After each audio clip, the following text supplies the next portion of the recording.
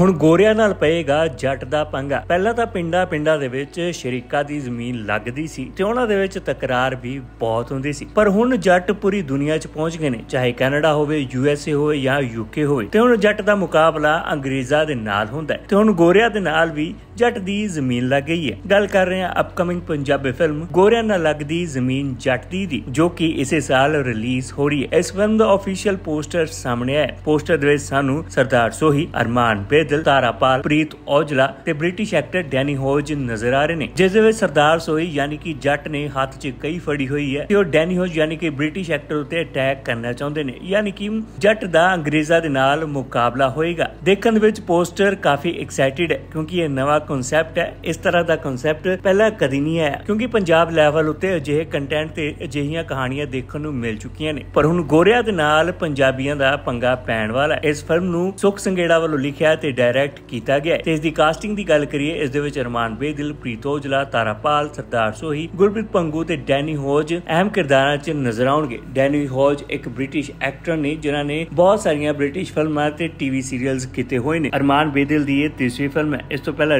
Recently ਉਹਨਾਂ ਦੀ film ਅਲੜ ਵਰੇਸ release ਹੋਈ ਸੀ ਤੇ ਇਸ ਤੋਂ ਪਹਿਲਾਂ ਉਹਨਾਂ ਦੀ ਫਿਲਮ ਮੁੰਡਾ ਸਾਊਥ ਆਈ ਸੀ, ਜਿਸ ਦੇ ਵਿੱਚ ਉਹ ਸੁਖ ਸੰਗੇੜਾ ਨਾਲ ਕੰਮ ਕਰ ਚੁੱਕੇ ਨੇ। ਸੁਖ ਸੰਗੇੜਾ ਦੇ ਨਾਲ ਹੀ ਅਰਮਾਨ ਬੇਦਲ ਦਾ ਫਿਲਮ ਮੁੰਡਾ ਸਾਊਥ ਹਾਲ ਦਾ ਦੇ ਨਾਲ ਡੈਬਿਊ ਹੋਇਆ ਸੀ ਤੇ ਹੁਣ ਆਪਣੀ ਅਗਲੀ ਫਿਲਮ ਦੇ ਵਿੱਚ ਵੀ ਸੁਖ ਸੰਗੇੜਾ ਨੇ ਅਰਮਾਨ ਬੇਦੀ ਨੂੰ ਕਾਸਟ ਕੀਤਾ ਯਾਨੀ ਕਿ ਉਹ ਅਰਮਾਨ ਉਤੇ ਕਾਫੀ ਜ਼ਿਆਦਾ ਟਰਸਟ ਦਿਖਾਉਂਦੇ ਨੇ। ਪੋਸਟਰ ਦੇ ਨਾਲ ਨਾਲ ਫਿਲਮ ਦੀ ਰਿਲੀਜ਼ ਡੇਟ ਦਾ ਵੀ ਐਲਾਨ ਹੋਇਆ ਹੈ। ਇਹ ਫਿਲਮ ਇਸੇ ਸਾਲ 25 ਅਕਤੂਬਰ ਨੂੰ ਸਿਨੇਮਾ ਘਰਾਂ ਦੇ ਵਿੱਚ ਰਿਲੀਜ਼ ਹੋਏਗੀ। ਫਿਲਮ ਦਾ ਸਕਰੀਨ ਪਲੇ ਸੁਖ ਸੰਗੇੜਾ ਤੇ ਉਮੰਗ ਸ਼ਰਮਾ ਵੱਲੋਂ ਲਿਖਿਆ ਗਿਆ ਸੈਮ ਮਲਿਕ ਫਿਲਮ ਦੇ ਡੀਓਪੀ ਨੇ। ਬਾਕੀ ਮੋਸ਼ਨ ਫਿਲਮ ਤੇ ਡੈਸਟਨੋ ਫਿਲਮਸ ਦੀ ਪ੍ਰਾਈਮ ਰੈਕਰਡਸ ਦੇ ਨਾਲ ਐਸੋਸੀਏਸ਼ਨ ਹੈ। ਸੋ ਹੁਣ ਇੰਤਜ਼ਾਰ ਰਹੇਗਾ ਪੰਜਾਬੀ ਫਿਲਮ ਗੋਰਿਆਂ ਨਾਲ ਲੱਗਦੀ ਜ਼ਮੀਨ ਜੱਟ ਦੀ ਦਾ, ਜੋ ਕਿ ਇਸ ਸਾਲ ਰਿਲੀਜ਼ ਹੋਏਗੀ। ਫਿਲਹਾਲ ਪੋਸਟਰ ਨੂੰ ਦੇਖ ਕੇ ਕਾਫੀ ਲੋਕ ਮਜ਼ੇਦਾਰ ਰਿਐਕਸ਼ਨ ਦੇ ਰਹੇ ਨੇ।